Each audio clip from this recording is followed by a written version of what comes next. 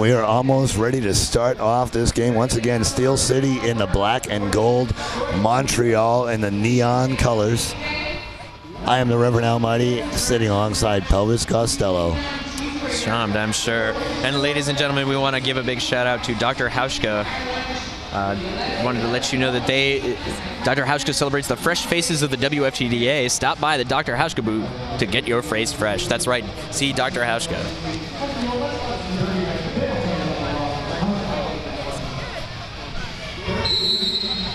Want to thank Baltimore. Want to thank the Charm City Roller Girls and the Washington, D.C. All Stars for putting on this amazing event that they have. We're only in day one, and we have seen some incredible bouts so far. Whistle is blown, the pack is off, and here are come our jammers. Yeah, both of them just starting already. Boom! Big, big hit there on number six. That's Snot Rocket Science trying to get through a pack. Jess Bandit and the ladies of Montreal really taking a tour. Meanwhile, while we are looking there, new skids on the block jammer, having a bit of a trouble through. Lead jammer, it's Snot Rocket Science.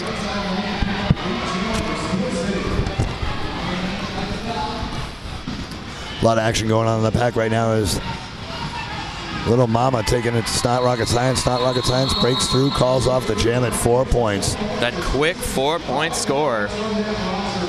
Four and out is textbook roller derby for you folks at home, that's what they want to do. Four and out, four and out. Unless they can get a jammer trapped or really get a solid defensive line, you're going to see a lot of that between these two teams. Both these teams so close in competition, so close in athleticism that you're going to see a lot of quick in and out jams today. What we're going to look for is that one breakout jam that I I feel is going to start this game off. And, and, and basically become our winner is who can have that big blowout jam. You are correct, sir. Now we're looking, it looks like Georgia W. Tush is out there in the green at jammer for Montreal. And number five, that is Hurricane Heather. She gets lead jammer right away. Hurricane Heather lead jammer last year broke the WFTDA records with 35 points in one jam as Steel City played Providence, Rhode Island in last year's Eastern playoffs. And right now, what you're seeing right is Hurricane Heather already in the thick of the pack. Georgia W. Tush about half a lap behind. She calls it off. There you go. That is three points for Steel City. Hurricane Heather is out there right now playing with a broken hand. She cut her cast off this morning.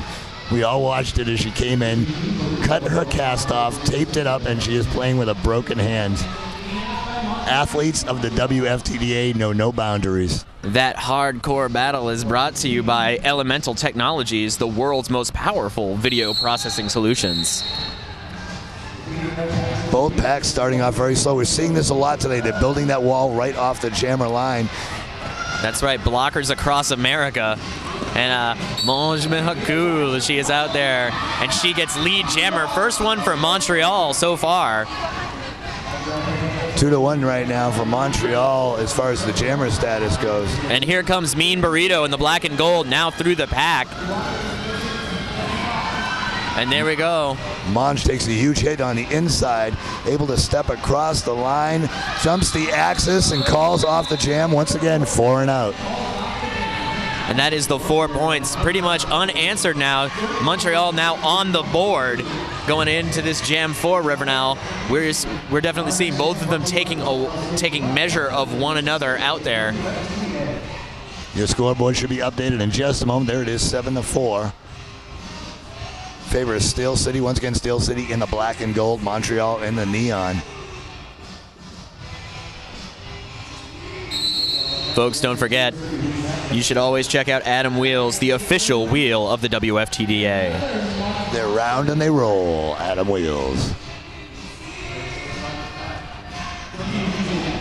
A lot of slow play action going on. That's you're, right. You're sitting at home watching this. You're wondering why aren't they skating? Why aren't they moving forward?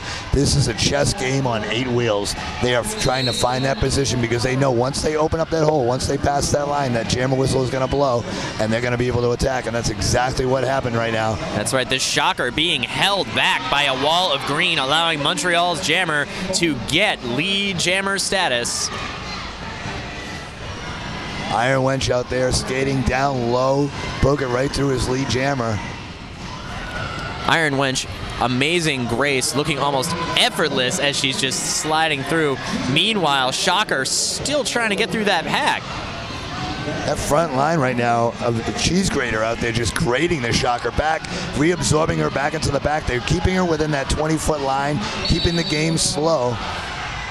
Oh, and an out of play call being sent. And it looks like a major track cut to, to send the shocker out. Maybe not.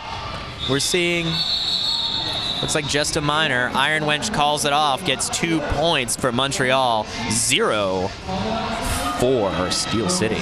Back up to a one-point game, folks. Seven to six in favor of Steel City. A one-point game. Amazing. And folks, don't forget, Riedell Skates, proud partner and the official skate of the WFTDA.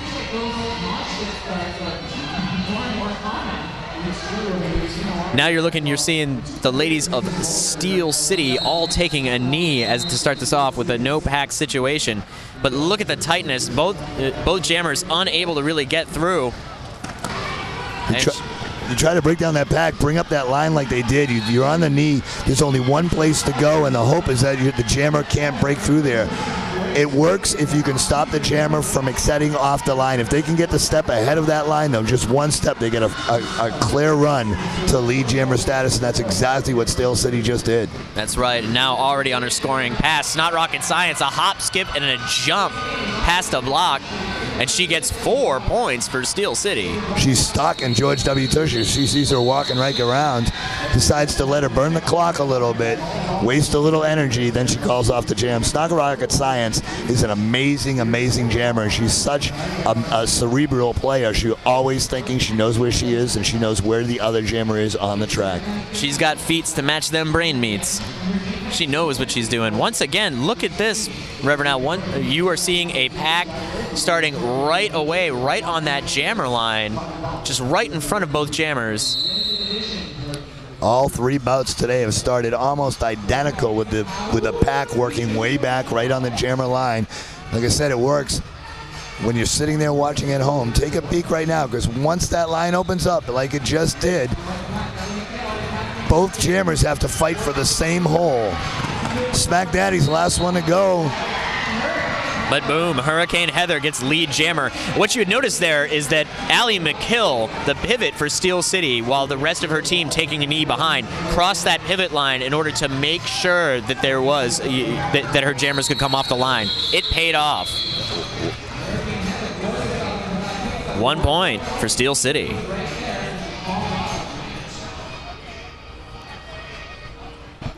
We want to also give a shout out to Union Vacations, the proud, uh, who's proud to provide the 2011 WFTDA MVP with a one-week getaway to Mexico. Wow, arriba, arriba, Union Vacations. Reverend Al, perhaps you could go down and call the events at that vacation. I'm sure any vacation with roller derby girls would be an event. And now we're looking back. Looks like Mean Burrito was knocked to the inside, had to come back, recycle to the back of the pack. Down she goes. Iron Wench right now deep inside that back. Both jammers are just being held up by two very physical walls. Iron Wench has one more to go. She breaks through, and she is your lead jammer. Great work there by Iron Wench. Now Mean Burrito just trying to look for a way through that pack. Split up just enough by her cohorts there. Jess Bandit was able to hold her back for just a little bit, but Mean Burrito breaks through and she is fast on those skates as she is right now, right on the heel of Iron Wench. Iron Wench playing a more defensive game right now. Calling it off just before Steel City could pass and get any points. Currently, you're looking Montreal 6, Steel City 12. When you see a jammer doing that, when they kind of slow down and they do what we call jammer on jammer action, what they're trying to do is incur a penalty of some kind. They're trying to force a back block, force a track cut, trying to force a power jam. If they can't do it, they know that they have to keep track of where that pack is because they only have a second or two to have that whistle blown. If they don't call off the jam, they could lose it. And coming up in the jam line, we've got the shocker for Steel City in black and Georgia W. Tush up in the neon green. Georgia W. Tush bringing a good name to the Tush family. That's right. And now we're watching the shocker. She's able to get through an almost no pack situation there. Meanwhile, Georgia W. Tush still being held back by Athena. Athena doing a great job though, holding back. George W. Tush goes down to her knee though, but the shocker is already reabsorbed into the pack. Tush having a very hard time getting back the big number 82, just nailing her back inside the pack. Finally, she's able to break on the inside line. That's right. She is now through. Shocker on her scoring pass. She's trying to get her way. Almost, and she doesn't. It looks like Cheese Grater had to let her go, and she calls it off. That is four points for Steel City. An amazing amount of work that had to be put in there for four points. Both of these teams playing a very physical game. You're not going to see points come early, e- easy or early, as we've been over 10 minutes, and it's 16 to six is the score. We've been seeing some points raking up in previous games already today. This is definitely the ratcheting up of the semifinals where you could tell both Montreal and Steel City just doing their best to outmaneuver one another jam by jam. Oh, huge hit by Smack Daddy on the jammer there, Steel City, but she was able to hold it up and break through. And there you go, Snot Rocket Science looks like she is your lead jammer. Snot Rocket Silence Science clearly an amazing jammer, but her ability to stay on her feet, taking these huge hits from the Montreal defense, is outstanding. As she right now is going one on one with a player almost twice her size. Looks like it paid off. There you go, three more points for Steel City. This is going to be what I call a knuckle drag bout. They are going to have to claw for every point that's earned. And we want to give a shout out for this next jam. It is for Spalen Media. You need you need it, we make it. Apparel, websites, and the rules application, which by the way you can get and download. It Gotta- is, it is absolutely sweet. I use it all the time. Got to have the rules app. You don't know who's doing what or what's going on without the rules app. Meanwhile, Iron Wench, she gets lead jammer sliding through on the inside. Iron Wench is the hardest working player in Montreal. She will probably be jamming every other or every third jam this week, but still City breaks through and they are right on her back. You are correct, sir. And now look at that. Hurricane Heather is still trying to peek at us. Oh, big hit. Huge hit. Iron Wench calling it from the floor, looking up at the ceiling. Track awareness and player ability. These girls have it all. And we have our first timeout for the Steel City side. I like taking a little time out for 5 on 5 magazine every now and then. 5 on 5 magazine, the official magazine of WFTDA. That's right. You currently are watching the WFTDA's coverage brought to you by Blaze Media right here online. Currently, Montreal at 10, Steel City at 19, 17 minutes 44 seconds right now when that halftime was called. Reverend Al, this is amazing. We are definitely seeing a very competitive, very small scoring game. As we said in the beginning, we know these two teams, but these two teams know each other. They know each other very well. They're ready to do what they need to do to win this game, and this is going to be a cat and mouse game. They're locking each other up, they're holding each other back, they're trapping the other player. They're very familiar with each other. We're looking for that one big jam, I think, that will break out this game. You haven't really seen that much competitive since inner city dance battles in all the movies. It's like Electric Boogaloo Part 3. Agreed. This jam is brought to you by the ProTech Dent mouth guards, the first thoroughly scientific mouth guard for the derby player.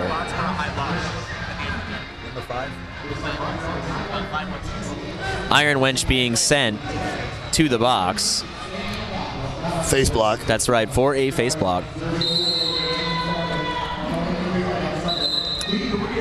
Now we're starting. So we have a power jam now. Hmm? Steel City. That's Mean Burrito out there. Oh, man, solid hits already from the ladies of Montreal. And she hop skips, jukes past, gets lead jammer right there, right after turn two. Mean Burrito doing an excellent job of getting through there. And this might be that big jam that I was been mentioning, that opportunity to put just offensive points up on the board and not have to worry about your defense moving on. Montreal is going to try to tighten this up and speed up this pack. Montreal is no stranger to the speed game, though, Reverend Al. They definitely know all about control, and they seem to have an almost mental telepathy when it comes to pack communication. Absolutely. Everybody talks about the slow game, the slow game, the slow game. It's the fast game in these situations that will win you. You have to make that jammer earn every point, and you have to have her doing laps on that track. And that's exactly what Montreal is doing. And they've stopped her from passing through the pack on a scoring pass at all so far.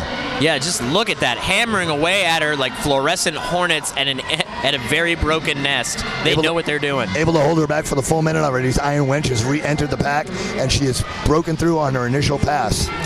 But that, as you can see, was five points for Steel City. Not sure if Hurricane Heather is even aware. I'm sorry, not Hurricane Heather. It's Mean Burrito. Mean Burrito yeah. is even aware that the Iron Wench came through, and on the fourth whistle, Iron Wench was just able to dive through and get two points. That's right. Now we're looking right here. There's one more point there for Steel City the entire Steel City bench screaming "call off the jam" during that point. It, I think you may have been right about there being no awareness that she was that close. Absolutely. You know, when you're in there, I talk about the, the, the pack awareness and the jammer awareness. When you're a jammer, that when you're breaking through and people are hitting you and people are trying to get at you and and then you also have to remember where the other jammer is it, you you you cannot have tunnel vision and play this game you have to be looking both ways but oh speaking about looking both ways mm-hmm. The Shocker doing really great. And now it looks like, yep, Chu, Lu. Oh my goodness. Lu out there for the first time for Montreal. A relatively small jammer rotation, but now they're just going for the relief side. She's now through the pack while the Shocker is on her scoring pass for Steel City. Lu, a new, a new jammer on the travel team for Montreal very fast as she was almost able to get back into that pack before the Shocker called off that jam. Good awareness by the Shocker of knowing where the other jammer was. That's right. We want to also let you know that there is a new Derby photo book from Jules Axel Adams Doyle. NoMercyBook.com is where you can go and pick it up. If you have actually seen any of Axel Adams' work, you know he knows roller derby, and you know that it's going to look good. I'm in that book. Are you? I'm in that book. Oh with a top hat and little pants. Not much else, but I'm in the book. All right, the jam is off right now. And now you got Snot Rocket Science out there in the black for Steel City, Iron Wench for Montreal. Iron Wench right there trying to break through that pack. She's just surrounded by the black and gold. Looking on the outside. Nice swing right there by the Iron Wench, but one more to go. That's right. But Snot Rocket Science is also breathing right down her neck. Damage Doll doing a great job of slowing down Iron Wench. She doesn't look that damaged to me. She looks like she gives more damage than she has. Iron Wench able to break it through. Snot Rocket Science was absorbed right back to the back of the pack. Great ability by Montreal to reabsorb the jammer. Snot Rocket Science finally able to break it through his 20 feet mark. Looks like Athena being sent out for a fourth minor. Iron Wench on her scoring pass, trying to break it through. One more to go. Calls off the jam. Four and out.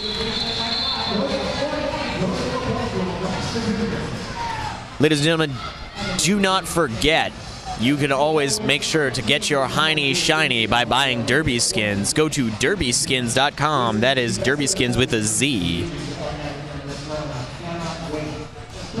Iron Doll Clothing, one of a kind uniforms for the modern roller girl and referee Iron Maven is on site all weekend and can answer all of your uniform questions.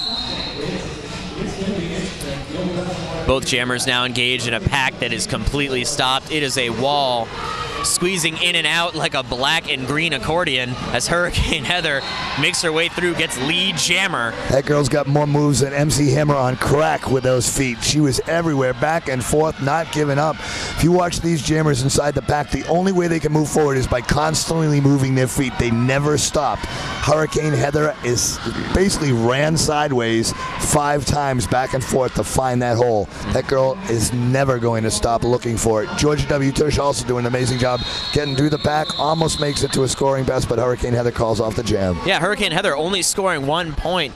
This is a case too in both of those jam. Both uh, both teams of blockers very aware of the actions and maneuverability of those jammers. Georgia W. Tush having a bit of trouble this first period, which is very hard to, to see given her track record this season. Georgia W. Tush more of a blocker than a jammer, but always, you know, definitely a successful jammer. When you get to this level, when you get to the playoffs, you're not playing a team that you're that you're not familiar with. If you haven't played them that year, which these two teams have played, but if you haven't played them, you've watched them play. That's right. Meanwhile, back to the action. Mean Burrito was knocked and recycled to the back of the pack. That is now leaving Mange in the thick of the pack, trying to get past the ladies in black and gold. That's a big 15 friction Vixen. Dominant. Dominant blocker for Steel City. Meanwhile, it looks like Ray Volver slowing down Mean Burrito. And Jess Bandit also doing the same. Mean Burrito able to break it through, but going down, it looks like her her lace is undone on her skate right now. She is trying to skate with her lace down. Very dangerous situation. She's actually tying her skates as she breaks through. Doesn't miss a beat. I don't think I've ever seen that before. She tied her skate as she was skating, didn't miss an inch, and just got five points up on the board. A grand slam while tying your laces. That is style, ladies and gentlemen. There's a first in every tournament, and that was it. Mange now trying to make her way through. Mange now 20 foot mark. They gotta let her go.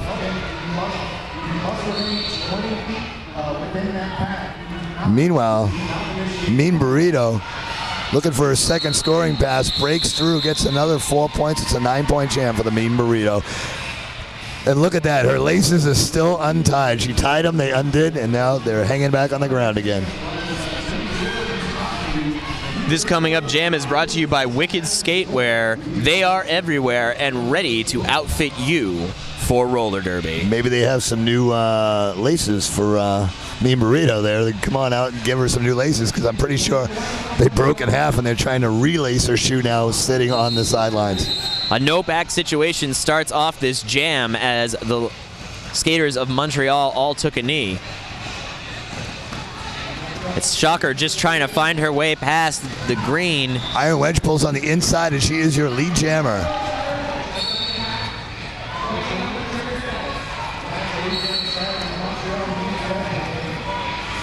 The Shocker able to break it through, and she is just chasing down the Iron Wench. The Iron Wench is a fast skater, an amazingly fast skater, and the Shocker is making it look like she stood still as she just both re- both absorbed into the pack so quickly. And now we're looking right there. There it is. Three points up on for Montreal current score as we're looking, Steel City also scoring 40 points to, I believe, the uh, Montreal's 17. That is a one jam game right now. We are still at a well. In most games, that would be a one jam game. In this game, it's a half an hour worth of points. Check out the matter of deja vu. Montreal starts it off all down on the ground. Jess Bandit just touching the pivot line. Burrito takes a fall off there. Not sure if she's fixed her skate yet or if she's still having problems. Another fall. Mm. Meanwhile, Jess Bandit looking at the front line now. She's got one more to go. That's right. She is trying to clear the space for Georgia W. Tush. Georgia W. Tush now breaks through, and she is your lead jammer. Georgia W. Tush skating fast, looking around, making sure she knows where Burrito is. She sees that she has not made her initial pack. Bandit doing an excellent job right there of knocking Burrito to the inside line.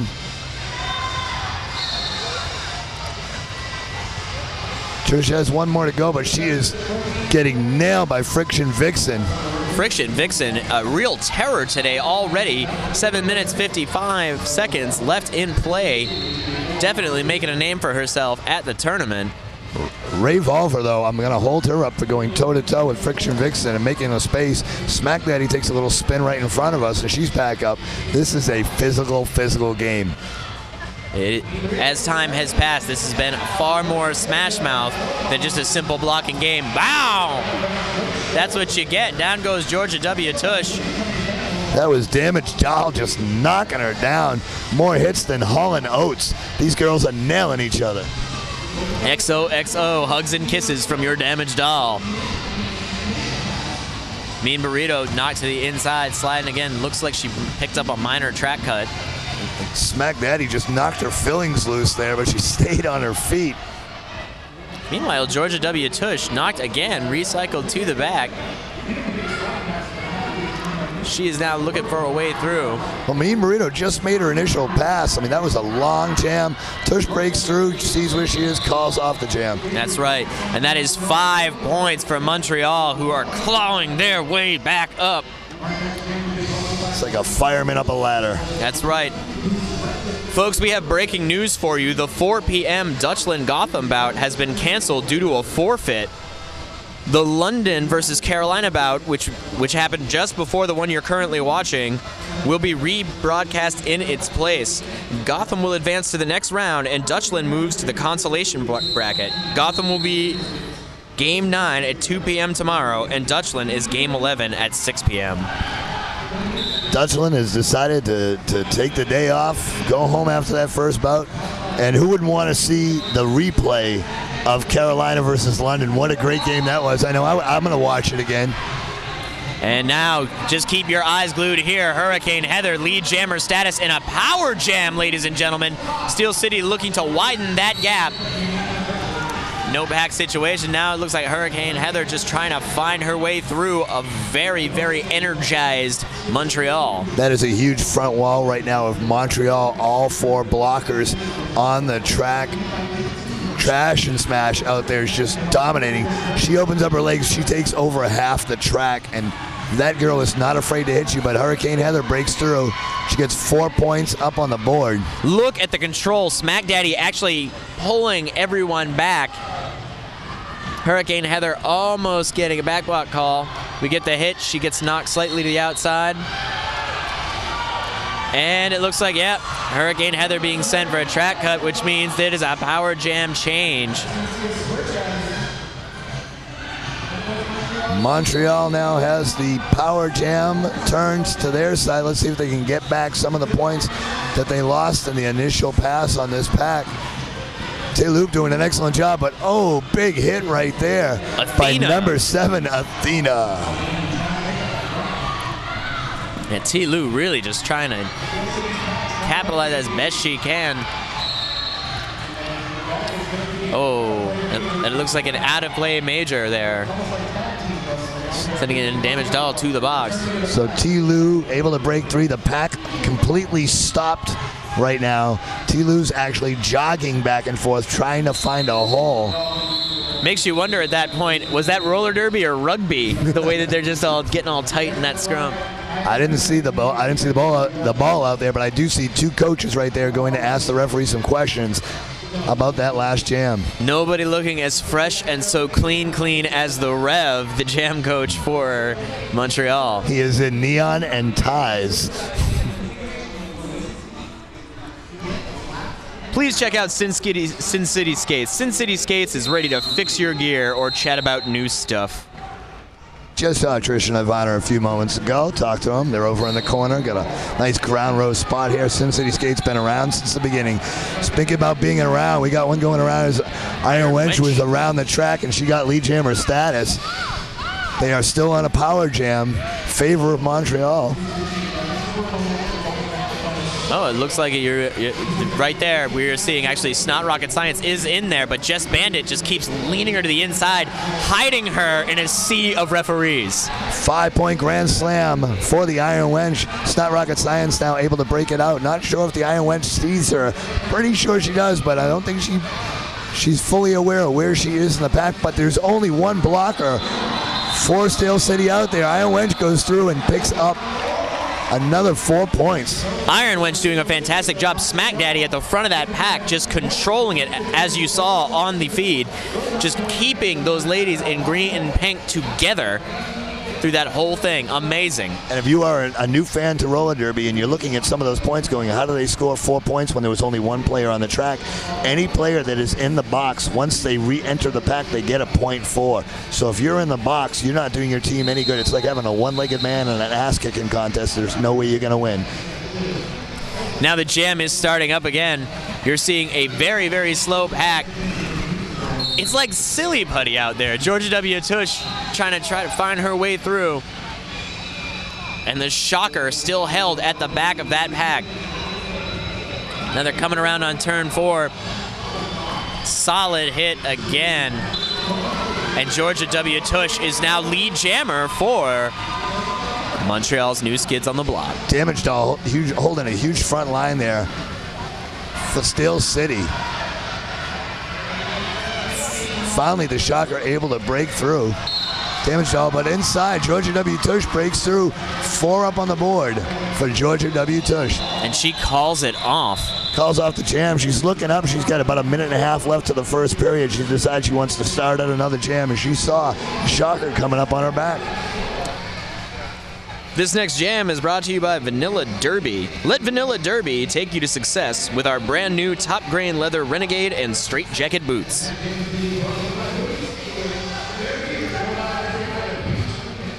We're starting up again. The lineup almost completely on the jammer line, just barely there. Both both teams actually reaching out to their teammates and slowly creeping. Montreal comes off the line. An eight-point jam right now. Toulouse out there four. Montreal, that's Hurricane Heather out there four. Steel City. That's right. Toulouse at the back of the pack. Hurricane Heather has a little bit of the edge, but Toulouse comes through. Not sure lead jammer, minor track cut. That means it's still possible for Hurricane Heather to get lead jammer status, even though she had been recycled through that turn. And Jess Bandit doing an excellent job at holding her back. Hurricane Heather gets the jam. Their coach is telling her to go for it. Yeah, he's like, don't bother calling it. We got to score the points. And four more points for Montreal. It looked like Tilu was looking to call it at first and then realized she was not lead jammer. Meanwhile, Hurricane Heather, the lead jammer, gets through the pack. We had one more to go. Smack that. He did a spin in the air, decides to call off the jam. Ladies and gentlemen, it looks like we are going to the halftime. Wow.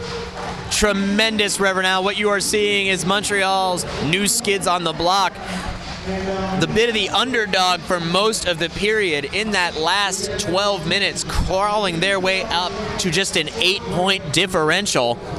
This this is the, the, this is the number four seed in the Eastern region versus the number five seed in the Eastern region. You're not going to get closer than this game, and they know each other. These two teams respect each other, and the score shows at 49-41, only an eight-point differential at this level of play, that is a hiccup. That is coming out of the, the locker room with, with, with a half a jam to re-earn that. Now you have to wonder where the coaches are going to go at halftime. What do you tell your team?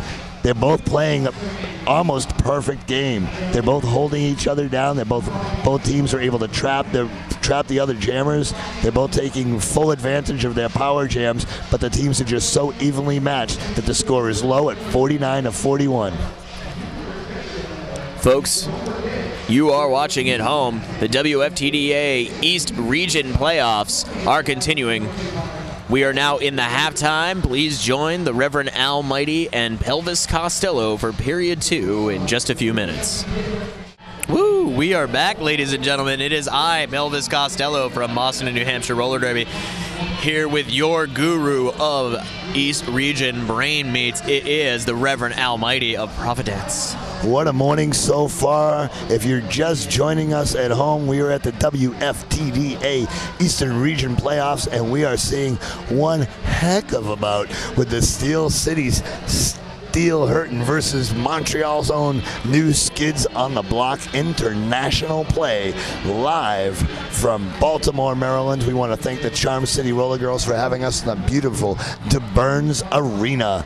Lovely downtown. well, we're actually on the seacoast here in Baltimore, and it's a beautiful area. If you haven't been to Baltimore, the reason they call Charm City um, Baltimore Charm City is because they actually used to hand little bracelets to people when they would get off the airplane with one charm on it, and they would tell them to go to all the shops in town and get charms, and they would get these free charms at all the shops, and that's why it's called Charm City.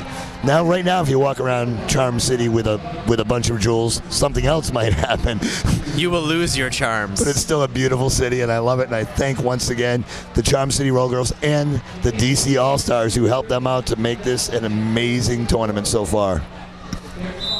Folks, don't forget you can actually tweet how you feel everything is going with the broadcast. You can actually do the hashtag of WFTDA Big Five. Let us know how you feel we're doing. Now, we did mention earlier that Dutchland has decided not to play Gotham in the next game. That is correct. Gotham came out. Gotham is warming up. I don't know what they're warming up for. They're throwing kicks. They're warming up. I think people are being spoken to. Maybe they're trying to find them an opponent. Maybe a, a, a scrimmage. Of course, it wouldn't have anything to do with the rankings, but maybe they're going to try to find them a, uh, a somebody to play, somebody that will jump in and have a non-sanctioned bout.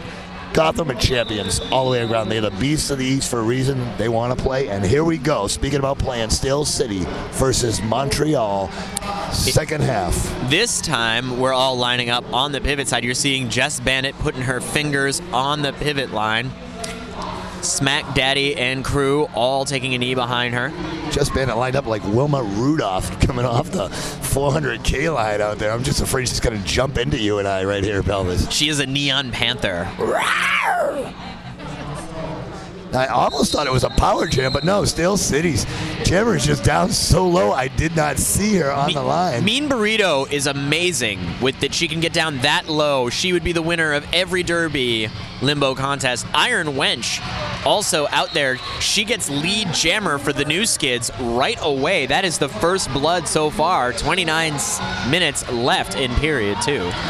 That's Little Mama right there knocking Mean Burrito to the back, just slamming her down onto the inside line. Little Mama is about four foot 11, but she's got the shoulders of a juggernaut.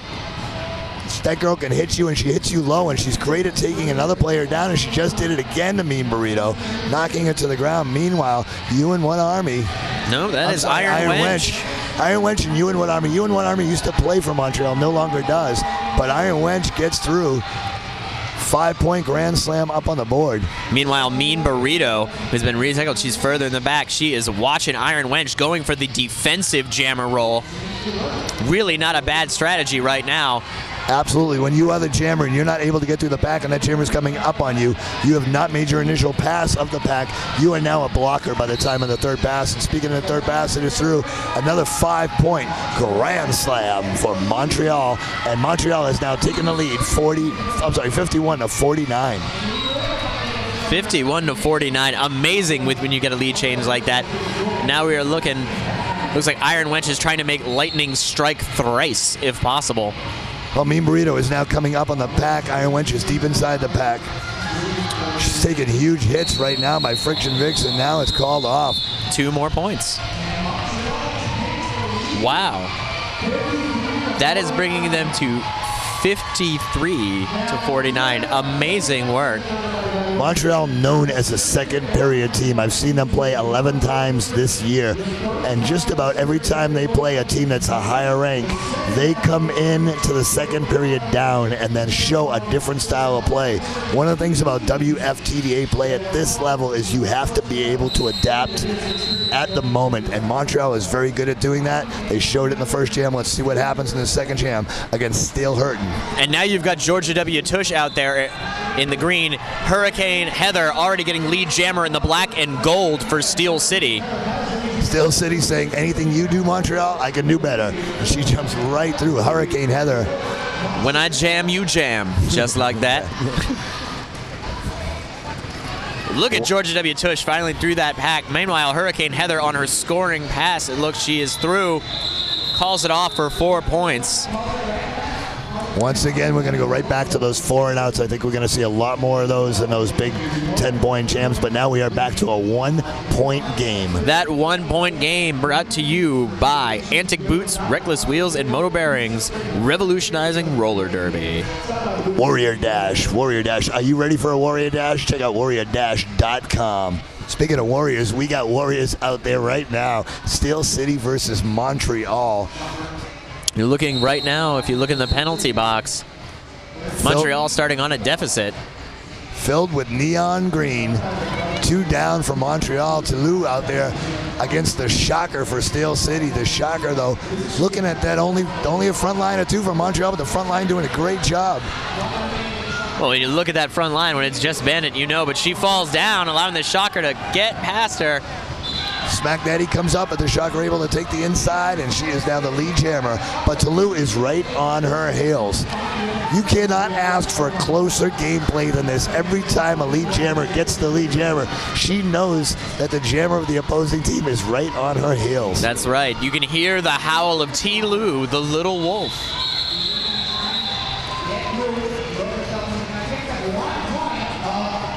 One point for Steel City on that. That means we have a tie game, ladies and gentlemen. It's the house announcers screaming out to the world. The crowd is really starting to pick up here. That's right, a tie game already. It's very nail biting. You got 25 minutes, you got 30 seconds.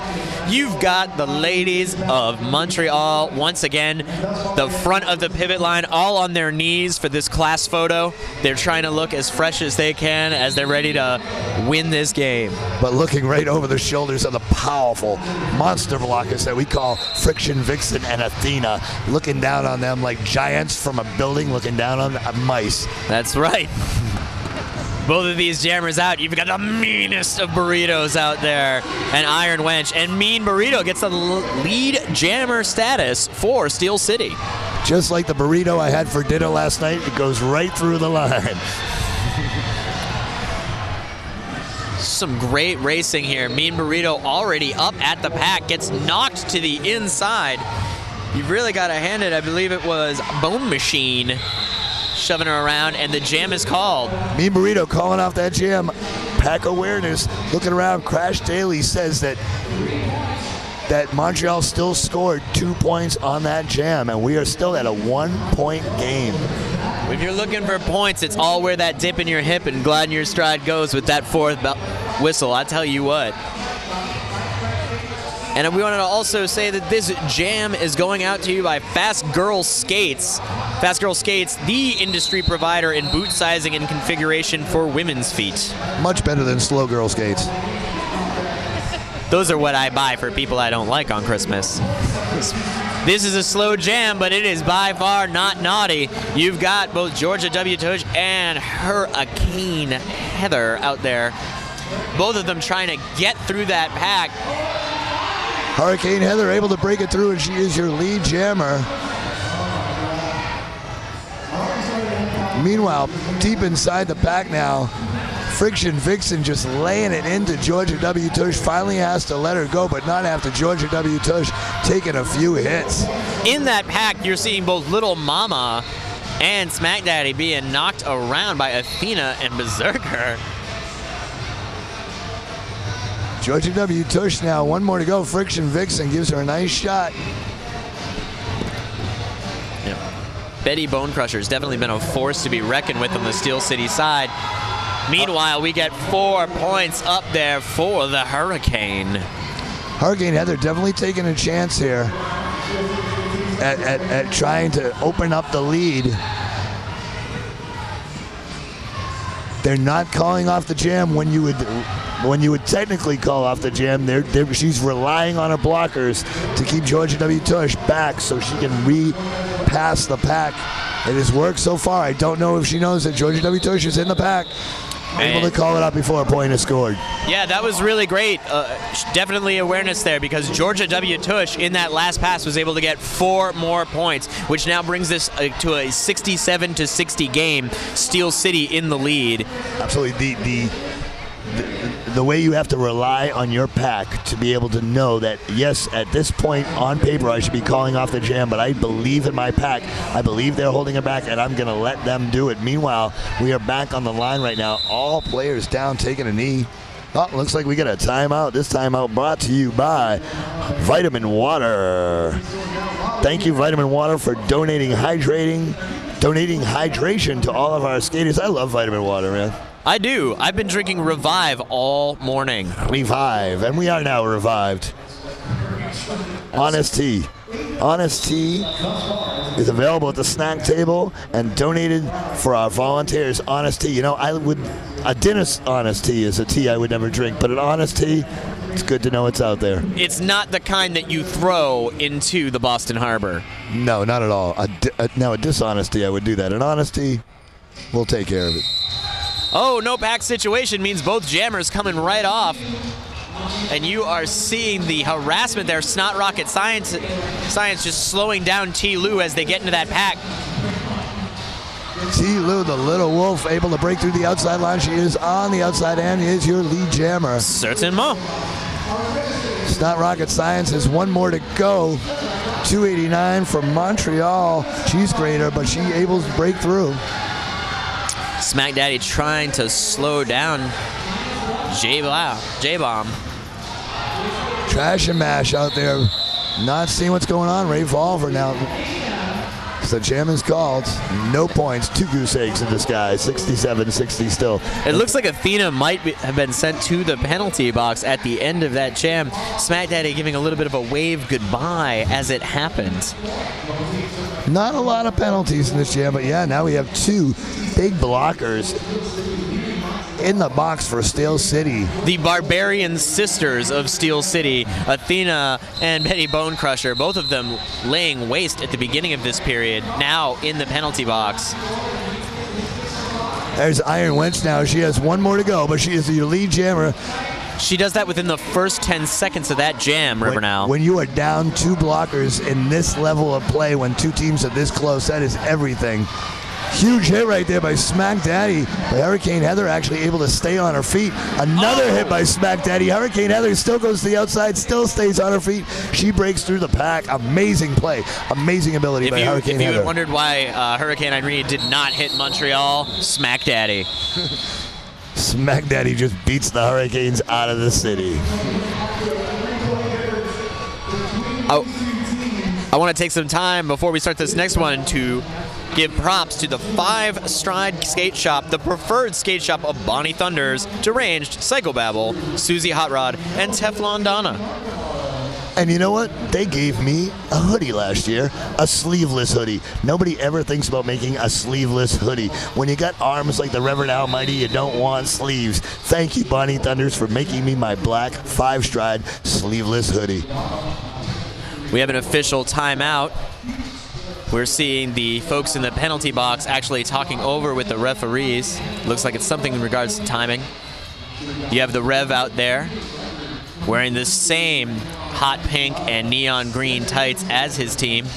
He's out there on his knee. You would think he was proposing to Jess Bandit, but he's actually already done that, so I'm not sure what he's doing. But he's a handsome man with tails. This time out brought to you by Derby Supply, the best customer service in the business, period. I have nothing to say then.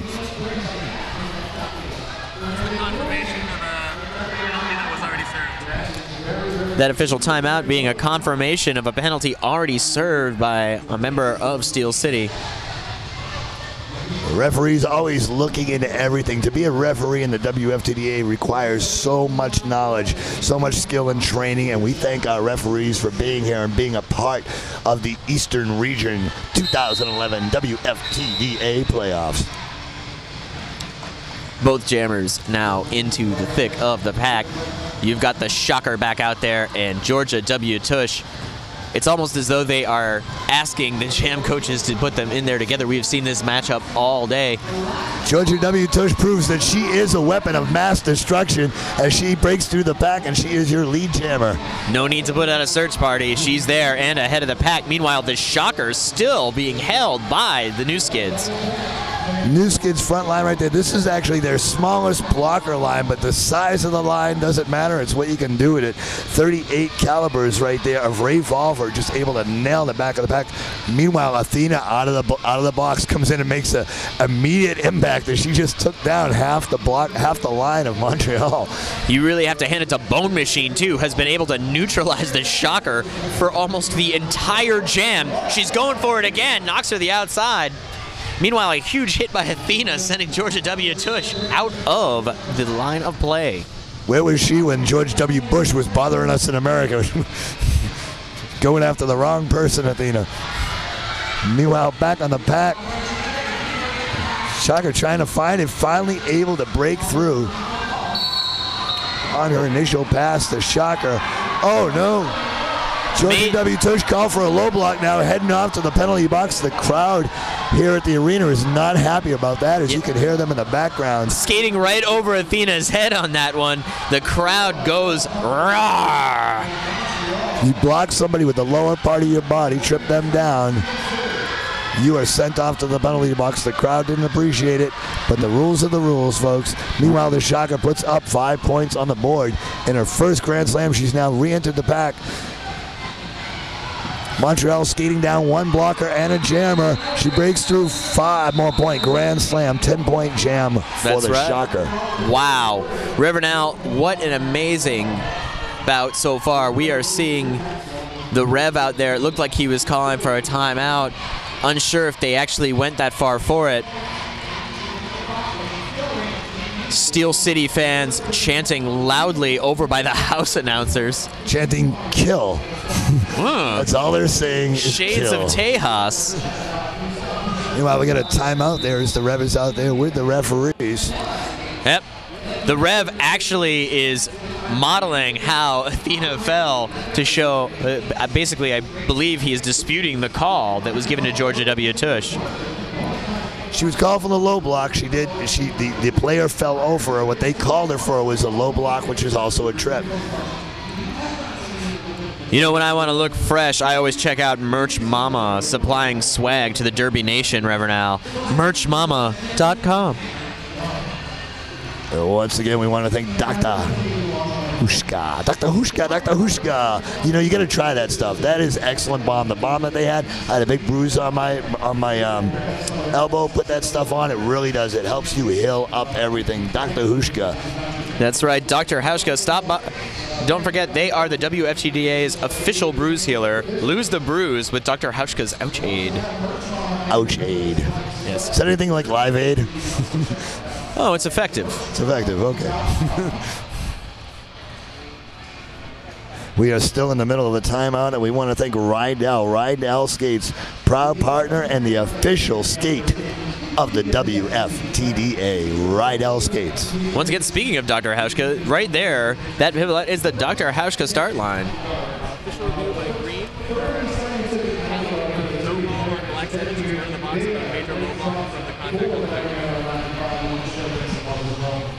Right now, the, the official review is on black. Seven, Athena for that low block that sent the Montreal Jammer into the box. For a back block? No, low block. Oh, no, I know. That's why they're checking with Athena. We're seeing exactly how that's being called here. Athena's still out there. I would be the I, I would be afraid to be the one that would have to tell her she can't be out there. Especially if I was wearing a pink shirt. The competition is so fierce right now, folks, at this official timeout. This is the longest one we have had all day, specifically for the fact that it is a very close game. Steel City 77, Montreal 68, and it looks like, yes, Athena has been sent to the penalty box. And, it, and as many people booed about Bandit going, I mean, about Tush going into the box now, just as many people are booing that Athena is going into the box. And it was the same penalty. That's how split the world of Derby is. That's how close this game in and that's how the fans go. They like who they like, and they call what they see. But remember, you're seeing it from one angle. The referees are seeing it from the best angle. That is inside the pack. Mean Burrito out there now going to be skating. Oh. And now it looks like the timeout's still going on. The jam coach for Steel City coming out once again, going for another timeout. Mean Burrito just back there moving back and forth. You know that it puts a lot of pressure on a jammer when they're in these double timeouts, these triple timeouts, and they've been out there for that long. It puts a lot of pressure on them you got to wonder what's going through their head as an athlete. You would never, you don't see a quarterback in the NFL standing out there for five or six minutes during timeouts, and the head game that this has going on. But our ref crew is phenomenal. They're doing everything that they can. They're mm-hmm. answering every question by both of these coaches to make sure that everybody is fully aware of why your players are in the box and what penalties were called against you. I give a hands up a props up, a thumbs up to the referees of the WFTDA. Speaking of thumbs up, I want to give a special shout out. If you are currently at work in the Baltimore area, then you know what I'm talking about. Flying Dog Brewery.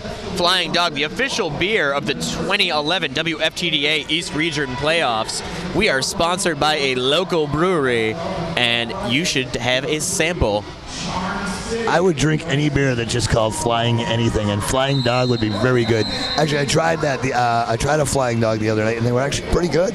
Very good beer. Try them out. Meanwhile, Mean Burrito out there now, skating unopposed coming off the line against only two blockers for Montreal and Smack Daddy and Little Mama.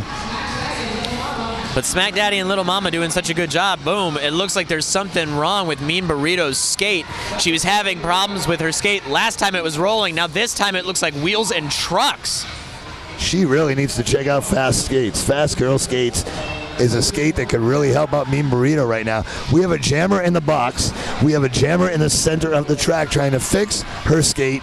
And while that is happening, Georgia W. Tush is able to come out of the penalty box. It's almost like a power jam, but boom, just like Mr. Miyagi, the jam coach of Steel City, knocks it back in, and she's skating again. Did you see him? He slapped his hands together, rubbed it, touched the skate, and now it's fixed. Oh, such a solid hit, however. Oh, and then another slide down. It looks like Smack Daddy knocked. Smack Daddy and Lady J controlling that front line now. Everything's starting to slow down again. Allie McKill taking a shot on George W. Tush. Athena taking a shot on George W. Tush. Once again, Athena getting called out to the penalty box. Not too happy about it. No, not at all. Mean Burrito able to pass. It looks like Georgia W. Tush thanks to Damaged Doll. Very, very quick pack right now. Athena called for a high block on Georgia W. Bush. That's what sent her back to the pack. Georgia W. Tush and Athena just don't get along. Finally, we have a lead jammer. Georgia W. Tush able to break it through, calling off the jam. 15 minutes and 56 seconds left in this game, ladies and gentlemen. And what a tight score we have at only 12 point differential. And if that and if you were on Steel City, sure enough, you're seeing Mean Burrito's skate getting looked at. In this case, Steel Hurt, and the last thing they want to do is have an equipment failure or any type of major penalty that's going to slow down their momentum. New Kids on the block, no strangers to capitalizing on any situation that arises. Absolutely, and right up the front there, you had a nice slow start. Shocker, though, has one more to go on that front line of Montreal. That is Iron Wench that buried to the inside. Shocker gets knocked to the back again by Lady J. And there we go. Iron Wench still trying to look through, through but look at Betty Bone Crusher. She's just up there slowing her down. Betty Bone Crusher, seven foot eight, 755 pounds of solid muscle. That girl will run you down like a German tank. Shocker able to break through. She is your lead jammer. That's right. Shocker just poking through the defense. Bone Crusher just leaning on Iron Wench. Iron Wench able to get through the outside, breaks, makes her initial pass. That shows you that she is indeed made of a ferrous metal. She she bends, but she does not break. Shocker, meanwhile, on her scoring pass, calling it off with two folks from Montreal in front of her. She gets two points. They're definitely just trying to keep that keep that lead, just keeping it wide, jam by jam. When the game is this close, you grab point by point, call off the jams. You have to play smart, safe derby right now because we are only 12 point, well, right now it might be 14 point differential. That is what we saw earlier in a 15 point jam. That is one jam, and you cannot be comfortable playing at this level of roller derby with a 14 point lead. It may be the open windows in the Du Burns Arena, but I am feeling chills as we start up this next bout. Look at this right now. Snot Rocket Science out there. Haven't seen her from most of the period. And T. Lou T. Lou is really getting worked as a newer jammer with Montreal. They're using about every third jam. T. Lou able to break through. She's got one more to go. She is your lead jammer. T. Nice, nice chase there by Allie McKill. Meanwhile, Snot Rocket Science now comes back through. Clear line, and she is also out on her initial pass. Steel City holding the front, Montreal holding the back. It looked like T. Lou was trying to call off the jam, but the pileup in front of the referees, they couldn't see her for about a few feet there. Definitely causing some exasperation, but as we all know, if the refs can't see it, they really can't call it. If it if the refs don't see it, it never happens. It's that simple. That's why I never invite them to my family's bar mitzvahs. I want to be the only man. Just make sure when the after party gets out of control to make sure the referees are in the other room. And now we have a slow crawl off the Dr. Hauschka start line. Trash and Mash, Bone Machine, and Smack Daddy out there. The Crippler, Friction Vixen, and Damage Mall out there for Steel City. Iron Wench able to walk right through the inside line, and she is your lead jammer. Mean Burrito falling down there over by turn three. Mean Burrito, you gotta hope they fix that. This Trash Mash is gonna test it. Bone Machine, oh, nice move there by Mean Burrito on Bone Machine, able to slide right through. But now we're looking Iron Wench on her scoring pass. She slides through and calls it off. Four points. A really smart move to do that, keep Steel City from gaining any more points. And now Montreal up to 72 points, a 10 point difference. 11 minutes, 55 seconds left on the clock. That's like a point a minute.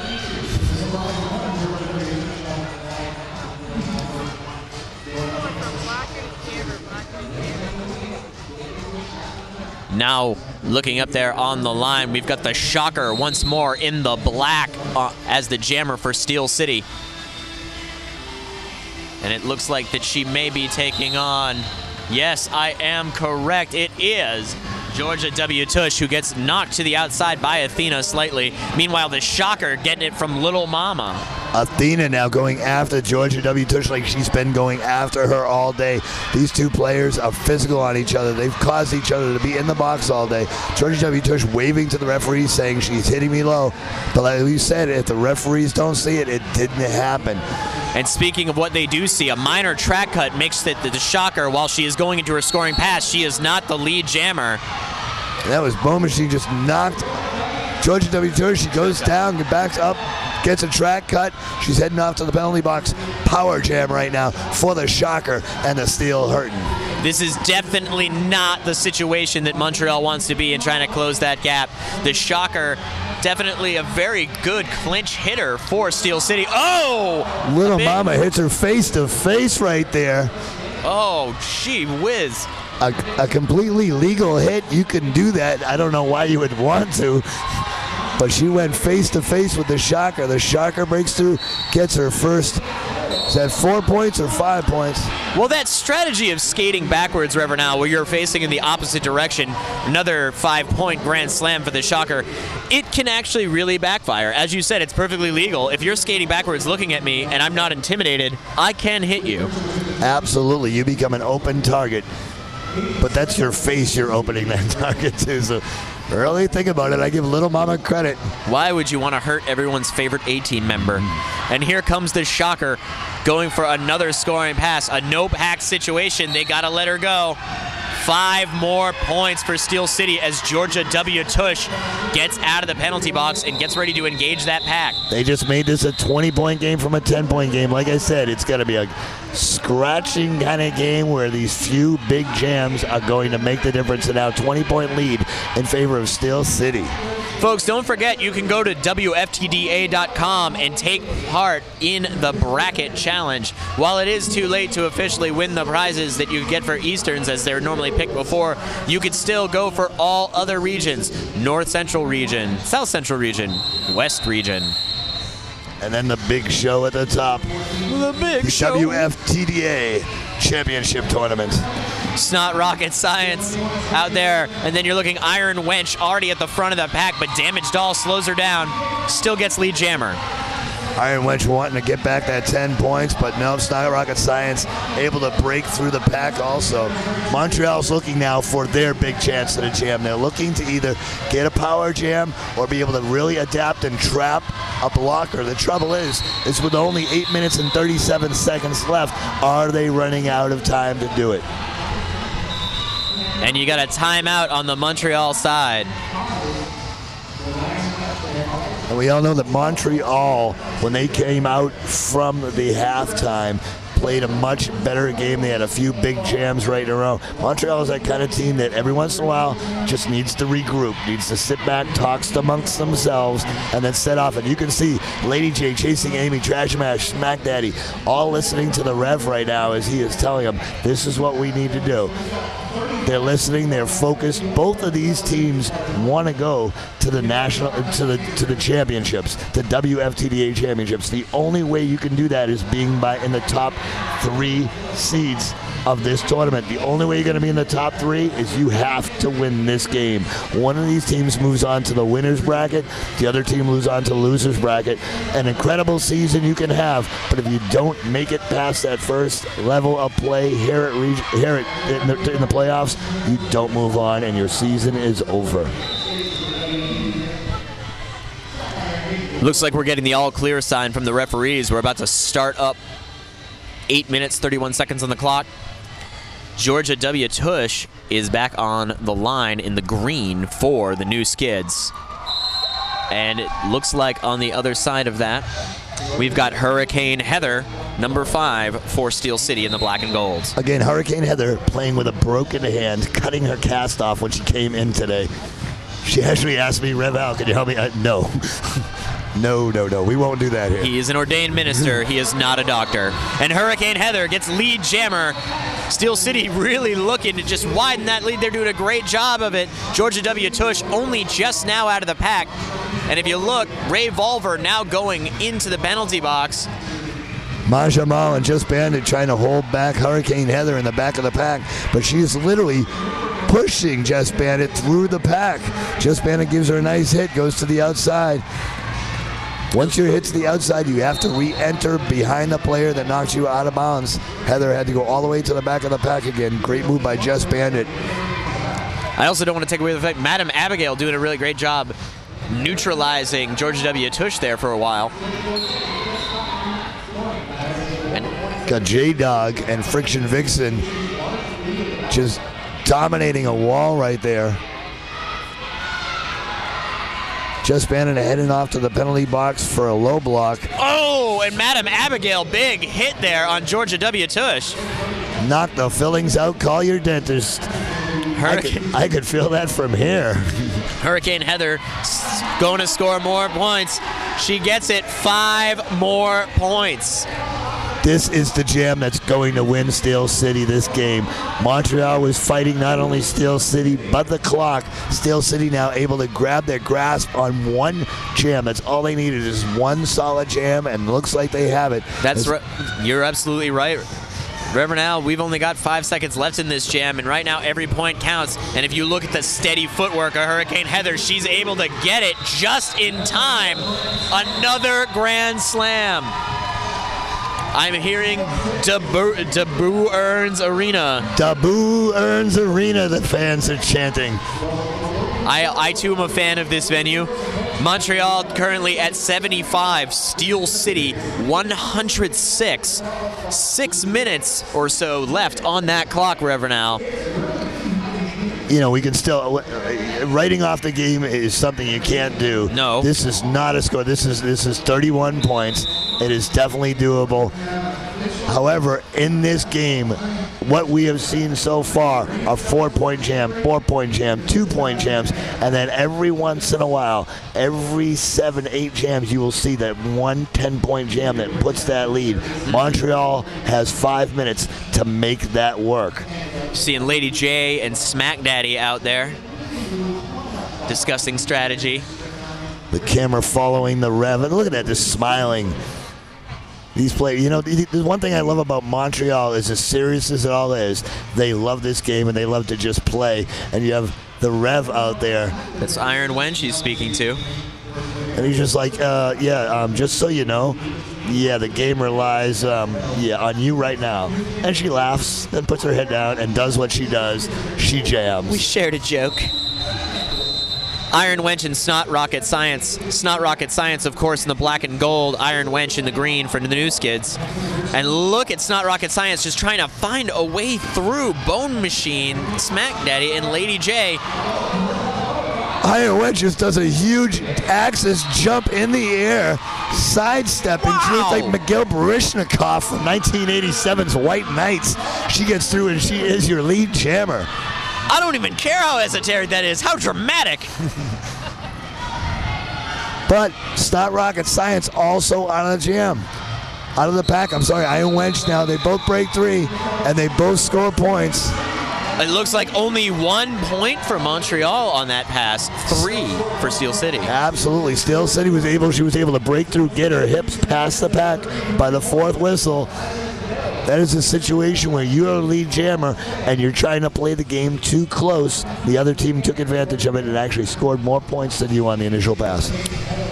Most of these ladies are wearing Atom wheels. Atom wheels, the official wheels of the WFTDA. Look at that. Very, very tight wall, getting very, very close. Looks like the refs are trying to warn them. Got to get it going. It's like trying to get to the front row at a Justin Bieber concert. You got to fight through a bunch of girls, and it's not going to happen easy. Poor Reverend Al. And now Hurricane Heather looking for her way through. She gets lead jammer. Remind me to take Hurricane Heather to my next Justin Bieber concert because I want to be to the front. And Georgia W. Tush once again stuck behind the wall of black and gold and Athena watching her but the 20 feet they gotta let her go Hurricane Heather meanwhile coming in for her scoring pass what's she getting on the points one two three four Four up on the board for Hurricane Heather. Hurricane Heather looking at her. Now, this is a situation where normally you would call off the jam, but Hurricane Heather's saying, no, we're going to play this clock. I wouldn't be surprised if she lets this jam go all the way down. If she scores four points and Georgia W. Tush scores four points, the game stays the same and we burn the clock down. And that's exactly what she's trying to do. You are not going to see her call off this jam unless she falls to the ground, unless she gets into a situation where she thinks she's going to end up in a penalty box or in, an, or in, an, in a, an, a situation where she can't jump. And she actually just now passed Georgia W. Tush, jumped over her. It's four more points Four- on that Four more points. and boom a huge hit Athena actually jumping up and down on the uh, on the pack seemingly unhappy Georgia W. Tush back in the pack Five point grand slam up there for the biggest win in the East. Hurricane Heather. Whoosh. Eight seconds left of the jam clock.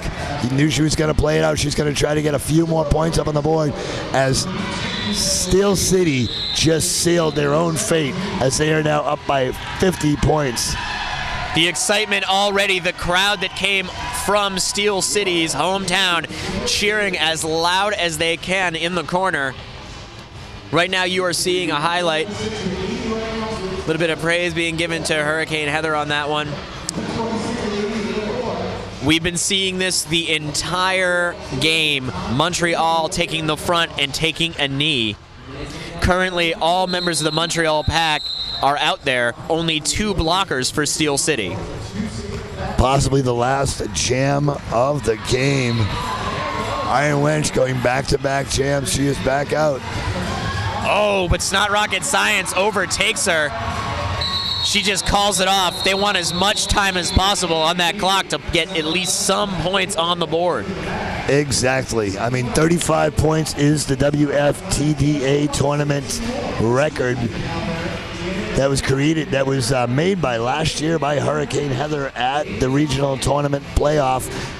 While it was beaten at other regions, that's the that is the joy of the East Region tournament is that we get to have all the famous firsts. The playoffs in the East. The e- yeah. Right now, we are definitely at what will be the last Wow! jam of the night. Snot Rocket Science playing it like it's the first jam of the night. Just diving through the air to get that status. Get a breakup on the line, and she is through, and she is your lead jammer. just that jump. Get back out. Amazing. It's not rocket science now, standing completely upright, looking around, waving her hands. She's like, anything you want to do, go ahead and do it. I'm not calling off this jam. Iron Wench now up on her. It looks like Snot Rocket Science just messing with her, doing the jammer on jammer block. Does need to watch out. Does need to make sure that she doesn't pull a penalty by getting her to back, getting a back block situation. But she's being smart, keeping enough room, looking around, actually scoring four points as she's holding back. That's right. You got to be careful though. That can be a, like an almost home team level mistake when it comes to play. Trying to get cocky, you can let your player, your opposite, your opponent score a bit of points. However, with 25 seconds left on the clock, it is definitely a Steel City win. Ladies and gentlemen, behind me, I see the Maine roller derby league gearing up to play Gotham. So we will have a game. Maine roller derby is putting on gear. Right now, we're see if we get any official word if you will be seeing any of that. But right now, for those of you just tuning in who had not heard, the 4 p.m. Dutchland versus Gotham bout has been canceled due to a forfeit. The original plan was London versus Carolina bout to be rebroadcast in its place, uh, just so you know. And now, when you're looking here, boom, at the end, you've got four more points out there. We're looking for the actual final score on this. What a hard fought game. Montreal at 88, Steel City at 134. Check it out, Steel City screaming and cheering. Looks like they have earned it. Steel City moving on and possibly one step closer to the net, to the WFTDA championships. I have just got an official word that Maine Roller Derby is playing Gotham in a 30-minute exhibition bout. We'll see if that is coming to you, folks. But now, where you're looking, it looks like Montreal has now taken to the center of the pack. What sportsmanship! Not only did the ladies do a hard fight battle, they went out and shook the hands of the officials of this game. That is class and sass combined together in neon green. You don't see that in the NFL. You don't see that in the NHL, where the players go out and give a lot of love to the people from above, the referees that donate their time. We're going to find out what we're going to do in a few minutes for you folks, whether we're going to be able to see the scrimmage that's coming up, whether we're going to have the replay of an amazing bout between Carolina and the London Roller Girls. If you missed that, stay in because either game is going to be excellent. I give a lot of uh, credit for um, for Maine for offering to opt up and play Gotham, taking the opportunity. Yep, it, it doesn't mean anything on paper, but wow, we get the opportunity to play against the greatest team in our division. Hell yeah, we'll do that. Thank you, Maine, for stepping up and taking that opportunity. Thank you, Montreal and Steel City, for just providing us with an amazing bout. Thank you at home for watching. I am the Reverend Almighty. I am Pelvis Costello. You are watching WFTDA's coverage of the East Region Playoffs Nightmare on 95. Hello, Derby Nation. This is Lady Oshun. I'm here with one of my favorite people on the planet, Smack Daddy, from the new Skids on the Block. So, Smack, um, you guys had an awesome season this year 13 wins, five losses. Um, what was your most important win this year? Uh, the most important win was probably when we started our season and went up against Rat and Jet and did that that weekend. Oli, obviously, we didn't we didn't take him on this season, um, but um, but just and actually we learned a lot by playing them. So those three games in one weekend and us coming out really strong for the beginning of the season was really like a big motivation to keep going on that. Yeah. And how did the Skids prepare for this tournament? We actually, it's to be honest, it's really it's disappointing that we just lost this game because we've been preparing so well and so tight as a team, and really, we're, we've been thinking about steel, but we've been thinking about this whole weekend, and we really worked our asses off to get here to play really well today. Certain things didn't happen the way we, we had expected, um, and we didn't we didn't bring it all the way. But again, this is like our team classic for that. We lose and then we come back stronger. So hopefully this is just another lesson to to motivate and keep going. Okay, so since you guys come back stronger and love that about Montreal, what can we expect for you guys next year? next year we're bringing it. We want to go to nationals. Um, this year was like, let's do really well at regionals. Let's see what happens. Um, next year it's nationals for sure. I promise. I like that. So this is Smack Daddy. Thank you very much. I love you lots. Lady O signing off. After this, we will rebroadcast the Carolina London bout. Okay, folks, so stay tuned for that. They'll come up after this, and we'll see you back here later.